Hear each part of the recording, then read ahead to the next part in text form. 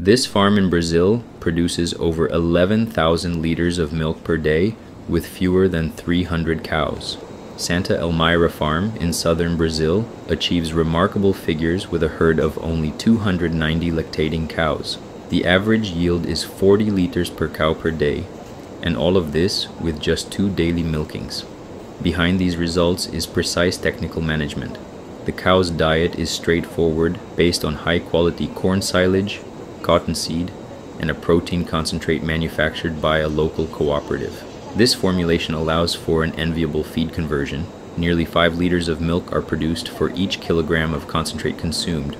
Even with a streamlined staff of only 8 employees, the farm's routine is efficient. The production system, currently in compost barn, is transitioning to a modern freestall with sand bedding and a flush system, further aiming to improve animal comfort and productivity. In the rearing sector, care begins early.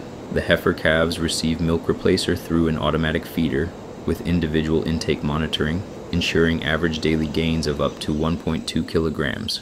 With precision management, a focus on animal welfare, and forage based nutrition, Santa Elmira Farm demonstrates that it is possible to produce high volumes of milk with simplicity, planning, and technical proficiency.